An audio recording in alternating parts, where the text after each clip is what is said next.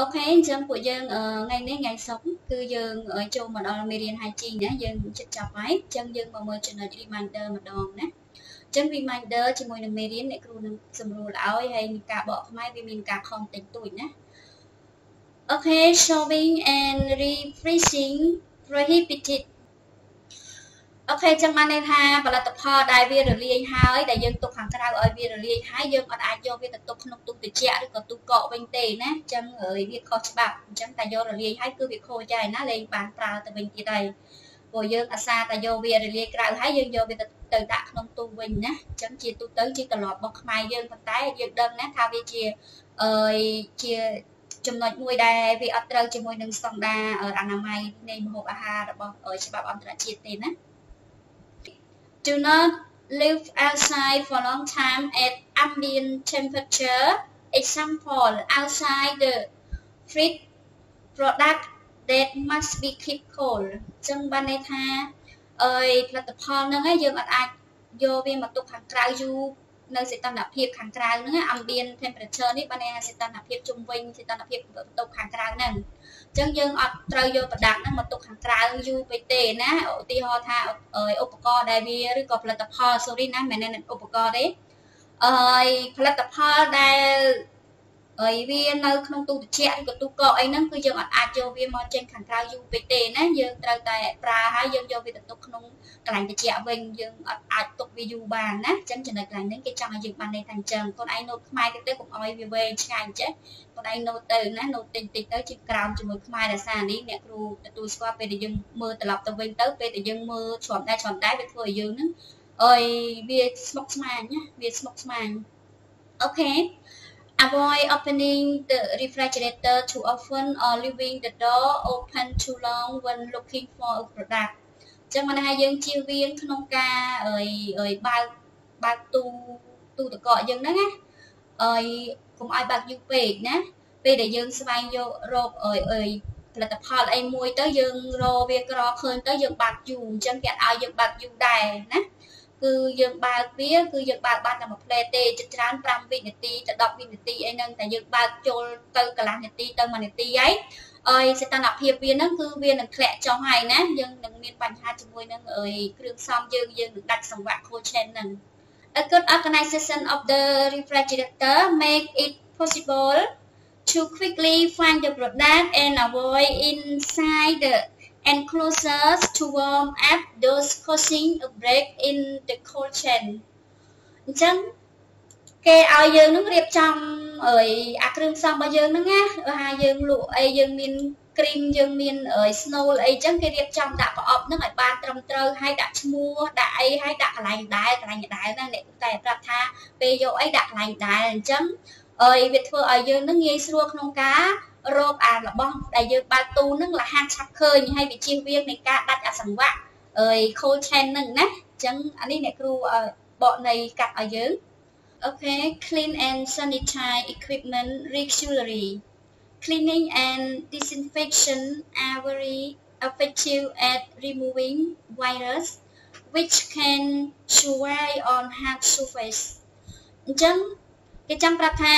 យើងត្រូវតែសម្អាតហើយនឹង sanitize នេះគឺសម្រាប់មេរោគណាសម្អាតនឹងសម្រាប់មេរោគជាមួយនឹង equipment របស់យើងឧបករណ៍របស់យើងឲ្យបានទៀងទាត់ណាឲ្យបានទៀងទាត់ហើយនឹងការលាងសម្អាតនឹង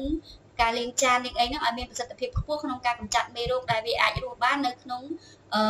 ផ្ទៃណានៅក្នុងកន្លែងងងឹតកន្លែងចង្អៀតកន្លែងក្លប់កលៀតអីកែមអីហ្នឹងគឺវាអាចរស់នៅបានជាមួយនឹងផ្ទៃរឹងរឹងហ្នឹងណាគេហៅផ្ទៃរឹងណាហាត់បានន័យផ្ទៃរឹងហ្នឹងមិនមែនបញ្ជាក់ថាផ្ទៃហ្នឹងវាថ្មវារឹងទេបានន័យថាផ្ទៃដែលយើងអាច មេរោគនៅបានដូចជាលើផ្ទៃអីលើតុរបស់យើងដែលយើងអត់បានសម្អាតជូតវានឹងជាមួយនឹងផ្ទៃកសែងអីហ្នឹងគឺជាផ្ទៃដែលមេរោគសាមសាមតិចតិចហ្នឹងចឹងគេអត់សូវឲ្យប្រើកសែងពូកោឯដោយសារកសែងពូកោ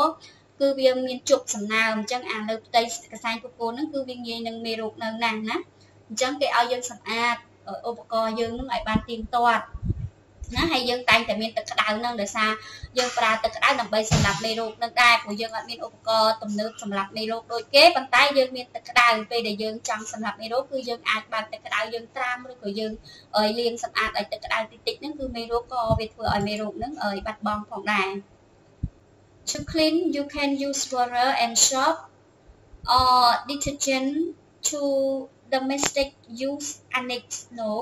អូខេណាអញ្ចឹងយើងដើម្បីសម្អាតឧបករណ៍អីហ្នឹងគឺយើងត្រូវប្រើជាមួយនឹងសាប៊ូម្សៅឬក៏សាប៊ូលាងចាននៅក្នុងដែលយើងប្រើប្រាស់ក្នុងស្តាប់ឲ្យរបស់យើងហ្នឹងយើងមានសាប៊ូសម្រាប់មេរោគក្រូសម្រាប់អីចឹងណាតានេះគេនិយាយពីឧបករណ៍ឯណាយើង detergent នេះក៏ជាពពួកម្សៅសាប៊ូដូច shop ដែរណាហើយឧបសម្ព័ន្ធហ្នឹងគឺបានន័យថាអីយើងមានក្រុមហ៊ុនយើងមានលេខសម្គាល់ឬក៏យើងប្រើសាន់ម៉ាក់សាន់ឡៃឬក៏យើងប្រើ អីណាកាអឹងអីហ្នឹងទៅណាអានេះគេហៅថាឧបអីឧបសម្ព័ន្ធលេខអីរបស់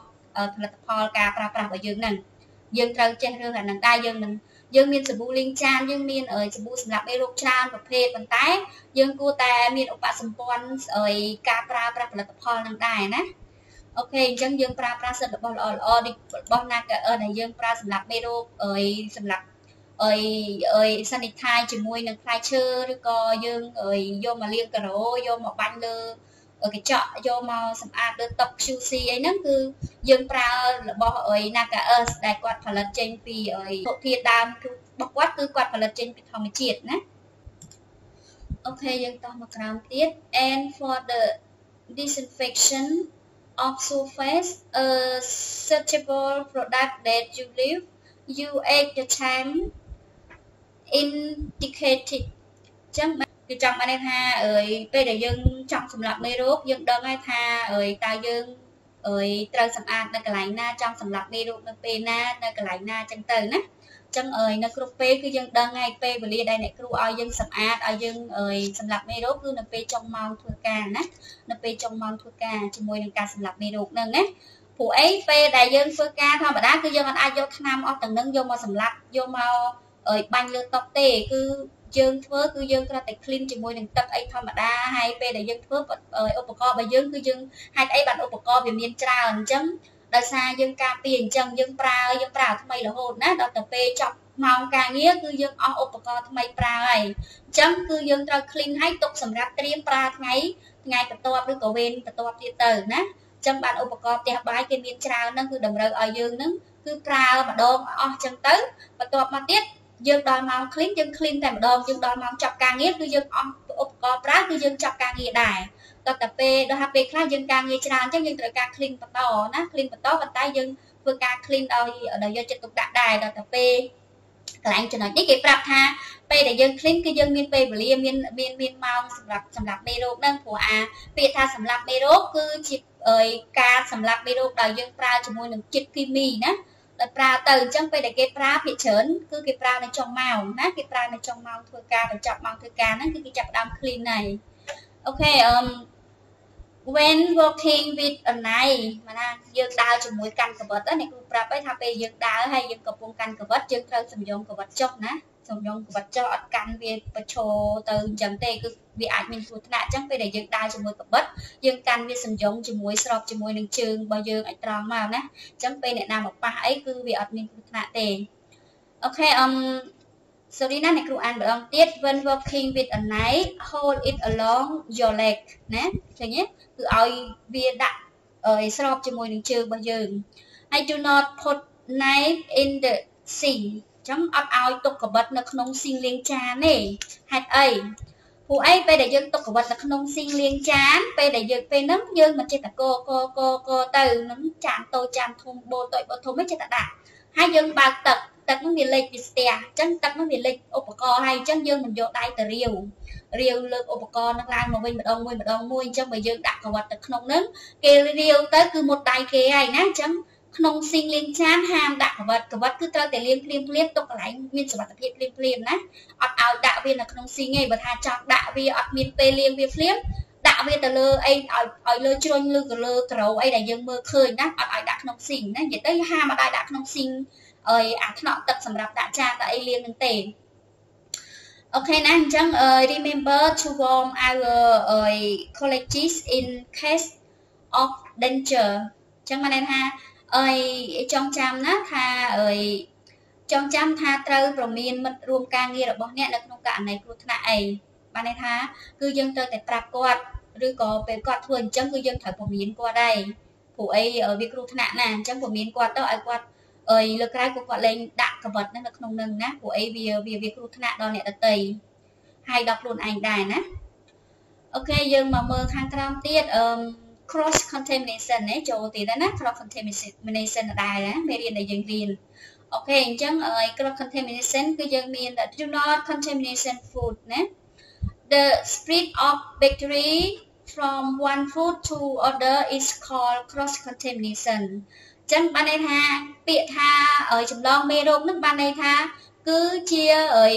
អីការរាលដាលការចម្លងពីមហូបមួយទៅមហូបមួយណាពីមនុស្សទៅមហូបហ្នឹងគឺគេហៅថា cross contamination ដែរអញ្ចឹងគេថាគុំបំពុលអាហារណាគេថាគុំបំពុលអាហារ do not អី contamination food អញ្ចឹងគុំបំពុលអាហារការរាលដាលនៃបាក់តេរីពីអាហារមួយទៅអាហារមួយទៀតនោះហៅថាការចម្លងមេរោគហើយណាអញ្ចឹងបានន័យថាពេលដែលយើងរៀបចំម្ហូបហ្នឹងគឺយើងរៀបចំវាឲ្យស្អាតបាតកុំកុំឲ្យវាមានមេរោគណាហ្នឹងយើងជាអ្នកបំពុលអា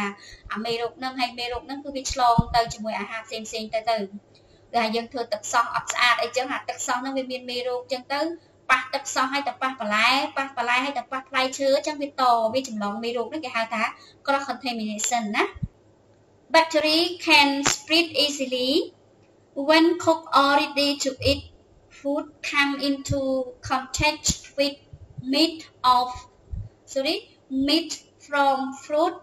vegetable or any other raw food, dirty uh, hand or contamination utensil, uh, separate raw product from cooked product អញ្ចឹងអាបាក់តេរីនឹងវាអាចចម្លងយ៉ាងស្រួលនៅពេលដែលម្ហូបឆ្អិនដាក់ចិត្តមហូបអាមហូបឆ្អិនដែលយើងរៀបចំអើយឆ្អិនឲ្យអស់ណាយើងទៅដាក់ចិត្តជាមួយនឹងអើយអើយមហូបឆៅឬក៏សាច់ឆៅឬក៏ផ្លែឈើអីដែលយើងអត់ទាន់លាងឬក៏បន្លែអីណា ជាមួយនឹងអីអីសាច់មហូបឆៅហ្នឹងគឺគេអត់ឲ្យដាក់ចិត្តទេអាមហូបដែលឆ្អិនហើយរៀបចំហើយហ្នឹងណាសម្រាប់លក់ហ្នឹងហើយនឹងអីដៃយើងក៏ហ្វក់ណាហើយជាមួយនឹង utensil ហ្នឹងគឺឧបករណ៍ហ្នឹងវាជាមួយនឹងអាអាប្រភេទអស់ហ្នឹងគឺវាធ្វើឲ្យការឆ្លងណា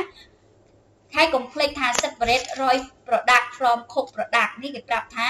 យើងត្រូវបំបែក ROI product នេះយើងទុកឲ្យដាច់ពីជាមួយនឹង cook product នេះ cook product នេះបានន័យថាយើងចំអិនវាឆ្អិនហើយសម្រាប់លក់សម្រាប់អី ready សម្រាប់ sale ហើយដល់ពេលយើងយកមកទុកជាមួយនឹងអា ROI product នេះវាធ្វើឲ្យឆ្លងមេរោគដែរណាគេហៅថា cross contamination ដែរអូខេអើយចឹង អ្នកគ្រូបញ្យលខ្មែរមែនអ្នកគ្រូអានឲ្យតទៀតបើថាអើយកន្លែងណាកាយយើងចុចកន្លែងកាយទៅគឺបាក់តេរីអាចឆ្លងរាលដាលបានយ៉ាងស្រួលនៅពេលដែលអាហារឆ្អិនឬអាហារដែលត្រៀមរួចជាស្រេចនឹងសាក់តាក់តងនឹងសាច់ឬផ្លែឈើឬអាហារឆៅផ្សេងទៀតណាជាមួយនឹងដៃកខ្វក់ឬឧបករណ៍ប្រើប្រាស់ដែលវាមានជាតិកខ្វក់ហ្នឹងហើយយើងត្រូវញែកឲ្យដាច់ពីផលិតផលឆៅហើយនិងផលិតផលឆ្អិនណា by common sources of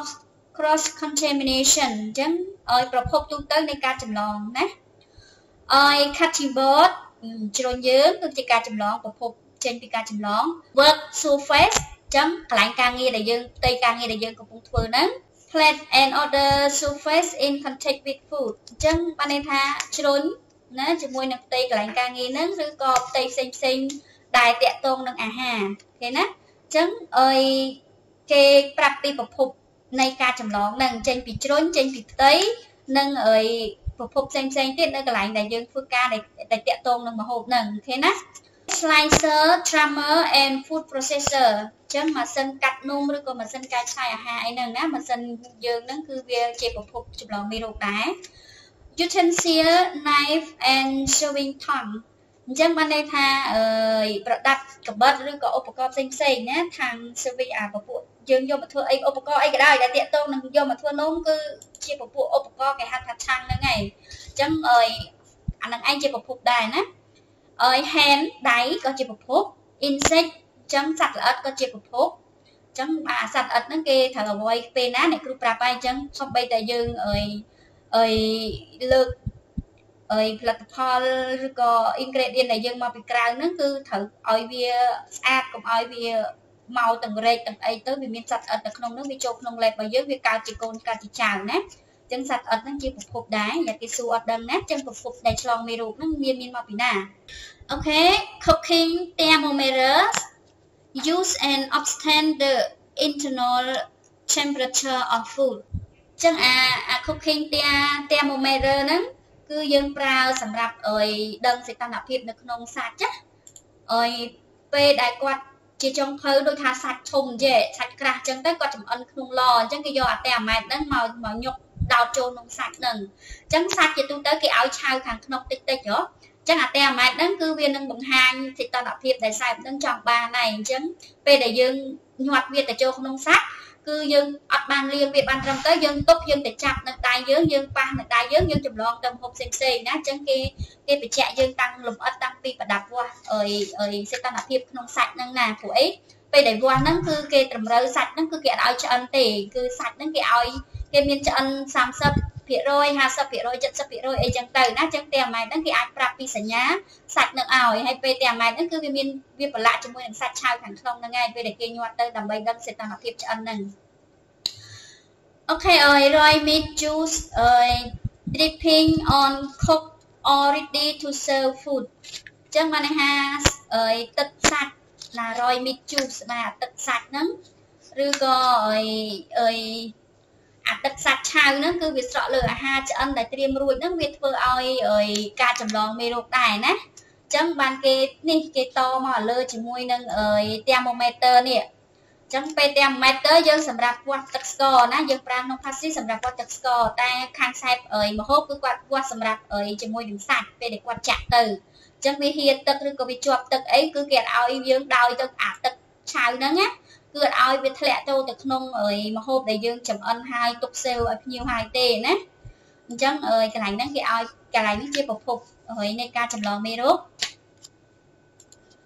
អូខេយើងមកក្រោមជាមួយនឹង food អឺ sorry fruit and vegetable not peel and not disinfect ណាអញ្ចឹងបានថាអីផ្លែឈើនិងបន្លែมันបានបកសម្បកឬក៏มันសម្រាប់មេរោគអញ្ចឹងអី នឹងជាកន្លែងដែរជាប្រភពចម្លងមេរោគដែរអញ្ចឹងផ្លែឈើមុននឹងចូលយើងលាងណាលាងហើយបានយើងយកវាទៅដាក់ចាត់តាមកន្លែងបន្លែអីហ្នឹងណាយើងបកវាទុកឲ្យសម្រាប់ឲ្យស្អាតហើយបានយើងដាក់តាមកន្លែងអញ្ចឹងអាហ្នឹងក៏ជាប្រភពនៃការចម្លងមេរោគដែរណាជាប្រភពនៃ cross contamination យ៉ាគេសួរថាប្រភព cross contamination ហ្នឹងមកពីណាខ្លះអត់ដឹងណាokay tip to avoid cross contamination អញ្ចឹងន័យថាគន្លឹះណាគន្លឹះដើម្បីជៀសវាងការឆ្លងហ្នឹងអញ្ចឹងមានគន្លឹះរបស់គេទៀត okay តោះអញ្ចឹងមិញគេប្រាប់យើងអំពីប្រភពនៃការចម្លងមេរោគដល់ពេលឥឡូវគឺយើងចូលមកដល់ឲ្យគន្លឹះវិញម្ដងគេប្រាប់យើងពីគន្លឹះដើម្បីជៀសវាងណាអញ្ចឹងគន្លឹះអីខ្លះអញ្ចឹង keep raw meat poultry and seafood on the bottom shelf of the refrigerator អញ្ចឹងគេតែងតែទុកសាច់ឆៅពពួកសាច់មាន់ឬក៏ គ្រឿងសមុទ្រអីហ្នឹងនៅក្រោមសេលយើងមានសេលទុកឋានៈឋានៈឋានៈក្នុងទូកកអាទូកកយើងមានឋានៈឋានៈអញ្ចឹងអាសាច់អស់ហ្នឹងគេតែងតែទុកនៅជាន់ក្រោមគេបំផុតនៃទូកកហ្នឹងដោយសារអីពេលដែលវាស្រក់ទៅវាអត់នៅលើអ្វីទាំងអស់ទៀតទេគឺវានៅលើការ៉ូណាហើយបើយើងទុកនៅជាន់លើពេលដែលវាស្រក់ទឹកឈាមវាចេញមកវានឹងនៅលើបន្លែឬក៏លើអីអ្វីដែលវាអាចឆ្លងបានហើយអញ្ចឹងដើម្បី អីការពារកុំឲ្យវារាលដាលណាកន្លឹះដើម្បីវាជៀសវាងនៃការឆ្លងហ្នឹងគឺយើងត្រូវតែគិតសាច់ឆៅហ្នឹងជាមួយនឹងសាច់មាន់ជាមួយនឹងពពួកគ្រឿងបង្គាមឹកអីហ្នឹងនៅក្រោមគេបំផុតនៃសេលដែលយើងដាក់ហ្នឹងណានៅក្នុងទូកកហ្នឹង Okay use different cutting board or raw meat and for fruit and vegetable ណាអញ្ចឹងពណ៌ក្រហមកាត់សាច់ពណ៌ខៀវអីជាមួយនឹងអីបន្លែណាបើ ចឹងគេមានពេលដែលនៅអូតែគេអត់បានអីជួនកាលកន្លែងអូតែខ្លះគាត់អត់បានអីបញ្ជាក់ពណ៌ដូចតែអ្នកគ្រូថាទេជួនកាលគាត់ប្រើផ្ទុយវិញណាប៉ុន្តែគេចំណាំគេចំណាំឧទាហរណ៍ថាអីពណ៌ក្រហមនេះអីយើងរៀនពីក្នុងមេរៀនអីរបស់គេគេឲ្យពណ៌ក្រហមនេះកាត់សាច់ឆៅអីចឹងទៅដល់ពេលកន្លែងខ្លះគុនកាគាត់យកអាពណ៌ក្រហមហ្នឹងណាយកទៅកាត់ផ្លែឈើវិញណាប៉ុន្តែគាត់ចំណាំថាពណ៌ក្រហមហ្នឹងសម្រាប់កាត់ផ្លែឈើនៅកន្លែងគាត់ណា វាអត់បានត្រូវពណ៌ប៉ុន្តែគេចំណាំពណ៌របស់កន្លែងគេប្រើណាប៉ុន្តែជាទូទៅនៅអឺរ៉ុបនៅអីគឺគេសម្គាល់នឹងពណ៌ហ្នឹងដើម្បីវាវាជួយចាំណាពណ៌ក្រហមកាត់សាច់ឆៅបានន័យថាវាឈាមចឹងទៅណាអីអីពណ៌ green គឺអីអីបន្លែចឹងទៅណាផ្លែឈើចឹងទៅដល់ពេលពណ៌សបឺឬក៏អីចឹងទៅអញ្ចឹងពណ៌ជ្រុញដែលយើងរៀនហើយហ្នឹងគឺយើង follow មកណាហើយប៉ុន្តែពេលដែលយើងចូលធ្វើការកន្លែងផ្សេងគឺយើងលួចអីថាគេ គេសម្គាល់ពណ៌ហ្នឹងដូចគ្នាអត់បើថាគេអត់ដូចទេគឺយើងត្រូវការចំណាយពេលតែចងចាំជាមួយនឹងកន្លែងធ្វើការថាគេប្រើពណ៌នេះសម្រាប់អីសម្រាប់អីវិញណាអូខេយើងមកក្រោមទៀត wash rinse and disinfect cutting board utensil and cooking thermometer after and before its use អញ្ចឹងគឺគេឲ្យយើងលាងសម្អាតជំរះឧបករណ៍ជ្រុញអីដែលយើងប្រើហ្នឹងគឺមុនពេលដែលយើងប្រើមួយមួយម្ដងទៀតណាបន្ទាប់ពីយើងប្រើទៅអាថ្មីទៀតគឺយើងលាងសិនណាយើងអត់មានប្រើឲ្យចិត្តតែប្រើតតឯងគឺបន្ទាប់ពីប្រើគេហៅថាបន្ទាប់ពីបន្ទាប់នឹងមុនពេលប្រើណាចឹងគឺត្រូវតែលាងវាណាលាងវាម្ដងម្ដងចឹងពេលដែលយើងប្រើហើយហើយយើងយកទៅប្រើអាថ្មីទៀតគឺយើងលាង Never place cooked food on a plate cutting board or surface that has been in contact with raw meat, poultry, seafood or eggs. Unwashed food បានថាផ្លែឈើដែលអត់បានលាងណា unwashed without this surface have been cleaned and disinfected beforehand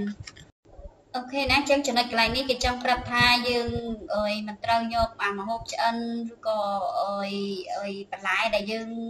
ត្រូវហូបហ្នឹងយកទៅដាក់លើក្តារបតដែលយើងអត់បានយើងសម្អាតវាឬក៏ក្តារបតដែលគេត្រូវកាត់ឲ្យសាច់ឆៅសាច់អីចេះយកទៅដាក់លើវាទេអញ្ចឹងបានន័យថាហាមយកម្ហូបទៅដាក់លើជ្រុញលើផ្ទៃអីដែលមិនមែនចានស្អាតណាអញ្ចឹងដើម្បីឲ្យការឆ្លងមេរោគហ្នឹងគឺបែបហ្នឹងអញ្ចឹងឧទាហរណ៍ថាគេចង់ហាមអញ្ចឹងហេតុអីអញ្ចឹងគេប៉ះដូចថាអើយយើងគេភ្ញៀវកំងសាច់អានេះគេនិយាយពីលក្ខណៈតងទៅនឹងខាងសាច់ឲ្យខាងមហូបចុងភៅច្រើនជាងនំណាក្នុងកន្លែងលក្ខខណ្ឌនេះ ឧទាហរណ៍ថាយើងសាច់យើងចៀនហើយណាយើងយកមកហាន់ឬក៏យើងយកមកស្លាយវាលើជ្រុញហ្នឹងសម្រាប់យកទៅដាក់លើបន្លែលើសាឡាត់អីឲ្យភ្ញៀវប៉ុន្តែយើងយកជ្រុញដែលវាមិនត្រូវជាមួយនឹងសាច់ឆ្អិនអញ្ចឹងសាច់ឆ្អិនគឺយើងប្រើជ្រុញពណ៌អើយប្រោនអញ្ចឹងអញ្ចឹងពេលដែលយើងយកវាមកហាន់អត់ត្រូវឬក៏ពណ៌ប្រោននឹងក៏ដោយពេលដែលយើងហាន់ទៅវាមានទឹកឈាមទឹកអីប្រឡាក់ណាអញ្ចឹងយើងយកមកហាន់ទៀតអញ្ចឹងបានន័យថា ពេលដែលមហូបអស់ហ្នឹងពេលដែលយើងយកវាមកដាក់លើជ្រុញលើអីហ្នឹងត្រូវគិតដល់ថាតើជ្រុញហ្នឹងស្អាតអត់ណាហើយជាទូទៅគឺគេហាមហ្មងគេឲ្យយើងយកបន្លែយកអីដែលយើងត្រូវលក់ឲ្យភ្ញៀវហ្នឹងយកមកដាក់លើជ្រុញលើអីទេគឺត្រូវតែដាក់លើកន្លែងវាឲ្យបានត្រឹមត្រូវណាអូខេអើយយើងមកក្រោមទៀត clean and disinfect the fruit and vegetable carefully with water and a suitable product bleach potassium permanganate correct leaders ចឹងកន្លែងនេះបានន័យថាយើងត្រូវតែលាងផ្លែឈើលាងបន្លែហ្នឹងឲ្យប្រុងប្រយ័ត្នជាមួយនឹងទឹកដែលយើងមានប្រដាប់ clean សម្រាប់សម្រាប់នៃរោគហ្នឹងនេះអញ្ចឹងគេឲ្យយើងលាងសម្រាប់នៃរោគជាមួយនឹងទឹកសេរ៉ូមអាទឹកសម្រាប់នៃរោគដែលអ្នកគ្រូឲ្យយើងប្រើជាមួយនឹងគម្របរាជទឹកឲ្យត្រាំផ្លែឈើត្រាំត្រាំបន្លែហ្នឹងណាអាហ្នឹងនេះជាពពួកអើយពពួកអើយថ្នាំសម្រាប់នៃរោគវាមានម៉ាកវាបែបហ្នឹងណា អូខេអើយយើងមកមើលខាងក្រោមទៀតអើយ make it a habit to peel fruit and vegetable in the container so that the peeling and not placed on the cutting board or on the work saw ចឹងបានថាយើងកុំឲ្យទម្លាប់ខ្លួនឯងជាមួយនឹងការចិត្តផ្លែឈើហ្នឹងយកសបកវាទៅដាក់លើជ្រុញណាឬក៏ផ្ទៃលើតុអីហ្នឹងអញ្ចឹងទម្លាប់យកអាពេលដែលយើងចិត្តផ្លែឈើគឺយើងដាក់ជាមួយនឹងបូលអីមួយមក បូលអីមួយមកយកសម្រាប់ដាក់ផ្លែឈើណាហើយបន្ទាប់មកចាំយើងយកវាទៅចាក់ក្នុងធុងសម្រាមកុំយកចិត្តវាលើទឹកឬក៏ចិត្តវាចោលសម្បកនៅលើជ្រុញហ្នឹងណាអញ្ចឹងគេអាចទម្លាប់អញ្ចឹងឯហ្នឹងយើងជៀសវាងការឆ្លងមេរោគហើយឃើញណាអញ្ចឹងអីអ្នកគ្រូមកមកក្រោមទៀតគេហៅថា tip for cleaning kitchen utensil អញ្ចឹងការណែនាំការអីសម្រាប់អនាម័យឧបករណ៍ម្ដងណានៅក្នុងផ្ទះបាយម្ដង ចឹងយើងមកមើល it is very important to make sure that uh, cookwares and these are clean before touching food អញ្ចឹងវាមានសារៈសំខាន់ខ្លាំងណាស់ក្នុងការធ្វើឲ្យប្រកាសថាចង្ក្រាននិងចានឬក៏ផ្ទះបាយរបស់យើងជុំវិញកន្លែងផ្ទះបាយទាំងអស់ហ្នឹងណាអើយគឺវាស្អាតណាមុនពេលយើងប៉ះពាល់ម្ហូប អូខេណាអញ្ចឹងគេថាវាមានសារៈសំខាន់ខ្លាំងណាស់ក្នុងការឲ្យប្រកបចិត្តថាកន្លែងចង្ក្រានរបស់យើងជាមួយនឹងចានជាមួយនឹងការរៀបចំឧបករណ៍របស់យើងហ្នឹងគឺវាស្អាតណា វាស្អាតមុនពេលដែលយើងចាប់ផ្ដើមធ្វើម្ហូបមុនពេលដែលយើងចាប់កាន់ម្ហូបគឺផ្ទះបាយយើងចឹងបានថាឲ្យពេលចាប់ការងារគេ clean សម្អាត clean សម្អាតចឹងទៅណាបន្ទាប់ពីគេចូលធ្វើការមកគឺកន្លែងគេស្អាតតែម្ដងអញ្ចឹងមានថាមេរោគវាអត់អាចឆ្លងទេដោយសារយើងសម្អាតហើយណាអញ្ចឹងយើងឧទាហរណ៍ថាបើសិនយើងអត់សម្អាតកដុលឬក៏សัตว์អីហ្នឹងគឺវាវាមកស៊ីហើយព្រោះដោយសារយើងមានកាកសំណល់ម្ហូបដែលយើងអត់បានខ្ចប់វាទុកដាក់ឲ្យស្អាតហ្នឹងអាហ្នឹងកន្លែងហ្នឹងគឺជាកន្លែងអើយអនាម័យឧបករណ៍វិញម្ដងណា ចឹងឧបករណ៍ហ្នឹងគឺគេត្រូវលាងរៀបចំឲ្យមុនប្រើគឺគេប្រើស្អាតស្អាតគេអត់មានមុនប្រើទៅលាងហើយទឹកលេខលាក់យកមកប្រើទេណា Okay tip for cleaning the main kitchen utensil អញ្ចឹងព័ត៌មានជំនួយសម្រាប់សម្អាតប្រដាប់ប្រដាអឺផ្ទះបាយហ្នឹងណាគឺសំខាន់អឺ disinfect this and cutting board by filling the sink with a solution of 5 milliliter ណា of bleach per 7 750 milliliter.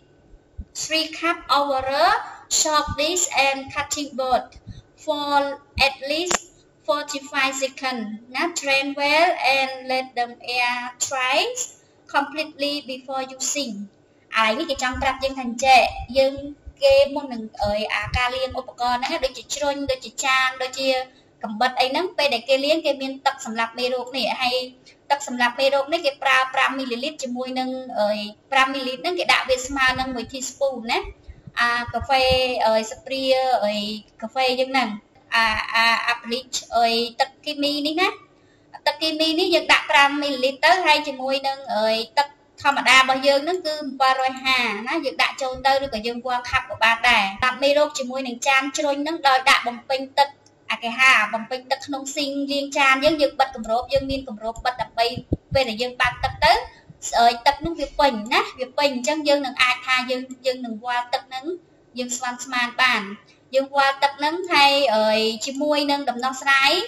ទឹក5មីលីលីត្រនៃថ្នាំអាអាថ្នាំនេះអាអាប្លីកនេះណាយើងប្រើ5មីលីលីត្រលាយជាមួយនឹងទឹក5750មីលីលីត្រ អញ្ចឹងពេលដែលយើងប្រើវាហើយយើងត្រាំជ្រុញត្រាំចានហ្នឹងរយៈពេល45វិនាទីទៅណាបន្ទាប់ពីយើងលាងចានហ្នឹងអស់ហើយស្អាតអស់ហើយណាយើងត្រាំទឹកហ្នឹងទៀតអាហ្នឹងណាអាហ្នឹងគេកំពុងមកប្រាប់យើងអំពីអីអីអីការការពារជាមួយនឹងឧបករណ៍ផ្ទះបាយណាអញ្ចឹងពេលដែលយើងលាងសម្អាតសាប៊ូហើយហ្នឹងគេមានឲ្យយើងនឹងទៅត្រាំទឹកថ្នាំនឹងទៀតនេះទឹកថ្នាំនេះ ណាតែទៅទៅយើងអត់ដែលបានត្រាំទេយើងគ្រាន់តែលាងសម្អាតវាឲ្យសម្រស់វាស្ងួតទៅគឺយើងយកមកប្រើហើយណា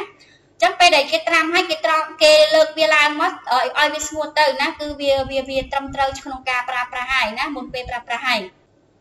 អូខេយើងមកមើលក្រោមទៀត disinfect worktop table faucet sink and other appliances by spraying with disinfection solution. This solution can be made by mixing 5, ml, 5 milliliter, 1 teaspoon of bleach with 750 milliliter, 3 cup of water. អូខេចឹងកន្លែងនេះគេចង់បានន័យថាពេលដែលយើងលាយជាមួយនឹង bleach bleach នេះជាប្រភេទទឹកថ្នាំគីមីសម្រាប់មេរោគហ្នឹងណាពេលដែលយើងលាយលាយដូចមិញអញ្ចឹងយើងអាចចូលវាមកសម្អាតលើតុយើងបានណាយើងអាចយកវាមកមកមកមកមកបាញ់ spray ហ្នឹងអញ្ចឹងអើយជួនកាលអ្នកគ្រូតែងប្រាប់តែអ្នកគ្រូអត់តែបានបង្ហាញយើងជាមួយនឹង spray ហ្នឹង យើងយកវាមកបាញ់នៅលើតុលើអីកន្លែងសម្រាប់តែកន្លែងអាអាទិដ្ឋភាពជុំវិញតុក្រោមតុជើងតុអីយើងយកវាមកបាញ់មុនពេលដែលយើងចេញទៅផ្ទះណាពេលដែលយើងចាប់ការងារហើយយើងបាញ់ spray ហ្នឹងគឺបាញ់ជុំវិញតុជុំវិញកន្លែងការងារហ្នឹងទៅហើយយើងចេញទៅផ្ទះបិទទ្វារទៅហ្នឹងអើយគឺអា spray សម្រាប់បាញ់ហ្នឹងប្លីកហ្នឹងអញ្ចឹងប្លីកហ្នឹងវាប្រើសម្រាប់ត្រាំឧបករណ៍ផងវាប្រើសម្រាប់អើយបាញ់នៅលើផ្ទៃតុយើងផងណាអញ្ចឹងយើងមាន យើងលាយវាទឹកប៉ុណ្ណឹងហើយយើងយកវាមកបាញ់ឈីឈីឈីឈីឈីលើតុឬក៏លើស៊ីងលើអីដែលយើងអើយ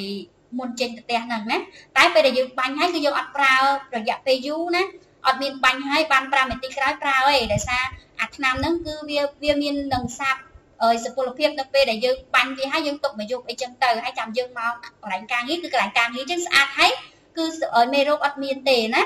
ចាអាឆ្នាំហ្នឹងគឺអត់អត់ហាមបាញ់នៅពេលដែលយើងកំពុងធ្វើការហ្នឹងយើងបាញ់ទេដោយសារវានឹងឆ្លងចម្លងមេរោគវិញ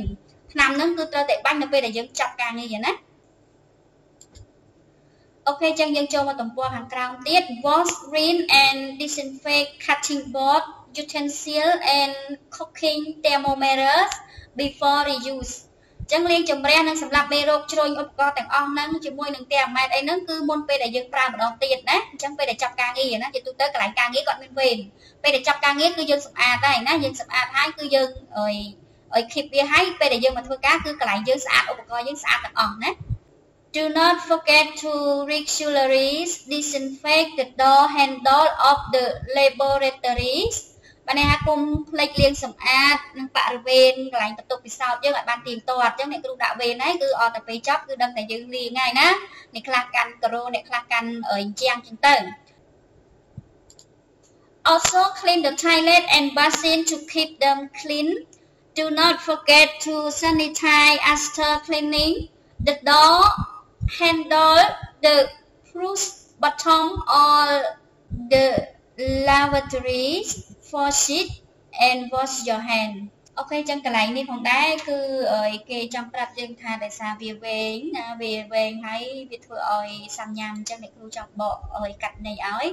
គេឲ្យយើងត្រូវលាងបន្ទប់ទឹកណាអញ្ចឹងបន្ទប់ទឹកអ្នកគ្រូប្រាប់ឲ្យពេលដែលយើងបើកលេបគឺលេបហ្នឹងគឺមានបន្ទប់ទឹកនៅខាងក្នុងសម្រាប់បុគ្គលិកណាអញ្ចឹងយើងត្រូវលាងសម្អាតឲ្យវាបានស្អាតណាឲ្យវាបានស្អាត ហើយអើយហើយកុំភ្លេចជាមួយនឹងសម្រាប់មេរោគនិងការសម្អាតផ្សេងផ្សេងជាមួយនឹងទ្វារកាន់ដល់ពេលយើងអើយយើងបើកទ្វារចោះពេលដែលយើងចេញពីបន្ទប់ទឹកយើងដៃមកយើងពេលដែលយើងកាន់ទ្វារណាអញ្ចឹងអាអាអាអាកន្លែងក្បាលទ្វារហ្នឹងគឺយើងកាន់ចុះកាន់ឡើងអាកន្លែងហ្នឹងក៏ជាអើយកន្លែងផ្ទុកមេរោគដែរហើយជាមួយនឹងអាកន្លែងចុចទឹករបស់ប្រគុណហ្នឹងចាកន្លែងចុចទឹករបស់ប្រគុណហ្នឹងក៏យើងម្នាក់ម្នាក់ទៅកាន់វាចុចវាណាដៃអត់ស្អាតទេតែលាងគូកហើយទៅចុចទឹកណាចុចទឹកហើ យយើងទៅចុចតវាឆ្លងហ្នឹងអញ្ចឹងគេឲ្យយើងកុំភ្លេចលេងអាហ្នឹងហងណាអាប្រដាប់ចុចទឹកប្រគុណហ្នឹងឬក៏ទ្វារដែលយើងបើកចេញចូលហ្នឹងគឺវាអ្នកខ្លះគាត់បាត់ជើងហើយគាត់អត់បានតលាងដៃណាលាងដៃនៅក្រៅហ្នឹងអញ្ចឹងដៃគាត់គាត់លាងគូគាត់ហើយគឺគាត់យកដៃហ្នឹងមកបើកកលឹងទ្វារហើយអញ្ចឹងអាកលឹងទ្វារកន្លែងហ្នឹងឯងដែលជាកន្លែងកខ្វក់ណាក៏មកបានយើងយកមកលាងដៃនៅខាងក្រៅអញ្ចឹងគេប្រាប់ថាយើងកុំភ្លេចសម្អាតកន្លែងហ្នឹងផងកន្លែងចំណុចកន្លែងហ្នឹងណាអញ្ចឹងដើម្បីការពារកុំឲ្យ កុំឲ្យឆ្លងហ្នឹងជាឧបករណ៍ដែរណាបន្ទប់ទឹកគ្រប់អីគេរាប់ចូលជាឧបករណ៍ដែរហើយ avoid ការចម្លងមេរោគជាមួយនឹងឧបករណ៍ណាចឹងឧបករណ៍ហ្នឹងវាមានបន្ទប់ទឹកមានទ្វារមានអីហ្នឹងគឺគេរាប់ចូលជាឧបករណ៍ណាចឹងយើងមកចូលមើលកន្លែងគេប្រាប់អី the the the five key World Health Organization ណាបានន័យថាគន្លឹះទាំង5អង្គការសុខភាពពិភពលោកអញ្ចឹងគេមានកន្លឹះ5ឲ្យយើងចាំអញ្ចឹងកន្លឹះទី1អីគេណា អញ្ចឹងកន្លឹះទី1 keep cleaning គឺរក្សាស្អាតរហូតណាចំណុចទី1គឺត្រូវតែរក្សាឲ្យវាស្អាតរហូតជាមួយចំណុចទី2 separate raw food and cooked food ញែកម្ហូបឆ្អិនម្ហូបឆៅហ្នឹងឲ្យដាច់ពីគ្នាទី3 cook celeries to kill microorganism ណាអញ្ចឹងបានថាចំអិនឲ្យបានម៉ត់ចត់ដើម្បីសម្រាប់អាមេរោគអីសរីរាង្គហ្នឹងណាអាមេរោគដែលយើងមើលមិនឃើញហ្នឹងអញ្ចឹងចំអត់ចំអិនវាឲ្យបានឆ្អិនឲ្យបានត្រឹមត្រូវ ដល់ពេលទី4 the key ណាគេកំប្រាប់ the key ណា key មាន5ហ្នឹងជាមួយនឹងអង្គការសហពិភពលោកហ្នឹងហើយដល់ key នីមួយនីមួយនេះដើម្បីស្អាតយើងត្រូវធ្វើអីខ្លះគឺនៅមានមេរៀនលម្អិតទៅទៀតចឹងទៅហើយដល់ពេល separate នេះគឺវាសំខាន់មែនតើណា separate ហូបជាមួយទី3នេះគឺការចំអិនឲ្យបានត្រឹមត្រូវណាដើម្បីសម្រាប់មេរោគហ្នឹងគឺវានឹងងាប់នឹងសីតុណ្ហភាព100អង្សាអីចឹងទៅណាអី keep food at safe អី temperature អញ្ចឹងបានន័យថា ចំណុចទី4នេះគឺទុកម្ហូបឲ្យវាត្រូវនឹងសីតុណ្ហភាពណាម្ហូបណាត្រូវទូកកម្ហូបណាត្រូវទូត្រជាក់ម្ហូបណាត្រូវទូអីអី room temperature ណាអញ្ចឹងយើងទុកឲ្យបានត្រឹមត្រូវជាមួយនឹងសីតុណ្ហភាពដល់ពេលទី5 use safe water and safe raw material មានន័យថាអីគេឲ្យយើងប្រើទឹកដែលមានសុវត្ថិភាពអញ្ចឹងកន្លែងយើងគឺយើងប្រើហើយដោយសារយើងមានឧបករណ៍សម្រាប់មេរោគនៅជាមួយទឹកហ្នឹងយើងឃើញហើយក្នុង lab របស់យើងគឺយើងតម្លើងអាហ្នឹងវាអស់ថ្លៃមែនទែនណា អូខេហើយជាមួយនឹងរយមិត្តជារៀលបានន័យថាអីវត្ថុធាតុដើមដែលវាមានសុវត្ថិភាពវត្ថុធាតុដើមដែលមានសុវត្ថិភាពហ្នឹងមិនអញ្ចឹងយើងនឹងរឧបរគ្រឿងផ្សំដែលដែលមិនមានប៉ះពាល់ដល់គុណភាពរបស់គាត់បានន័យថាគ្រឿងផ្សំរបស់យើងគឺត្រូវ delay អត់មានហួស delay អត់មានអាពេលហួស delay ហើយគេលក់ឲ្យយើងថោកថោកយើងលក់យើងទិញយកមកធ្វើនំទេបានន័យថាអញ្ចឹងណាអញ្ចឹងអារយមេធារីហ្នឹងគឺវត្ថុធាតុដើមដែលមានសុវត្ថិភាពដែលវាមានពេញជាមួយនឹងវាទៅតែផលិតវាអត់ ផផុត expired date ណាវាអត់ខូចវាអត់អីចឹងទៅហ្នឹងគេហៅថា raw material ណាអូខេអញ្ចឹងយើងបញ្ចប់ជាមួយនឹងមេរៀន hygiene ហើយនេះជាសំណួរប៉ុន្តែអ្នកគ្រូនឹងដាក់ទៅតាមក្រោយជាមួយនឹងសំណួរបន្ថែមណាព្រោះអ្នកគ្រូនឹងសរុបឲ្យម្ដងទៀតជាមួយនឹងសំណួរបន្ថែមហើយអានេះវាមានតែ5សំណួរទេប៉ុន្តែអ្នកគ្រូថែមណាចឹងអ្នកគ្រូអត់ទាន់ដាក់បញ្ចូលយើងនៅពេលនេះទេគឺអ្នកគ្រូចាំបញ្ចូលយើងនៅពេលដែលអ្នកគ្រូដាក់ homework ឲ្យយើង